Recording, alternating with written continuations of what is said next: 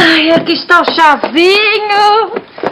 Obrigada, Fátima. Dona Lé, prepare-se para perder o seu braço direito aqui no palacete. E vocês comecem-se a despedir dos meus cozinhados. Então porquê? Porque o meu Carlos não me vai deixar continuar a trabalhar quando casarmos. Mas ele já te pediu em casamento? Quase, Mariano, quase! Enfilada na conta bancária do meu noivo. Ou é de mim, ou eu estava a passar a lua de mel à lua. Conhece aquela música do Noinha Só com Bel, Só com Bel? Hã? Parece que já me estou a ver lá. Fátima, está muito quente. Queimei-me.